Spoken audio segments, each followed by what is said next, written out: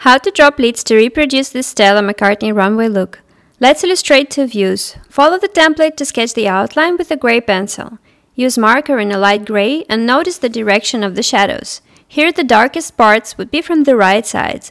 Draw lines to express the pleated surface and make the edges angled to support it visually. Since the look is white, you may add the shadow from the right side of the figure itself to follow the rhythm of darks and lift it off the background. Check out part 2 for the back drawing tips.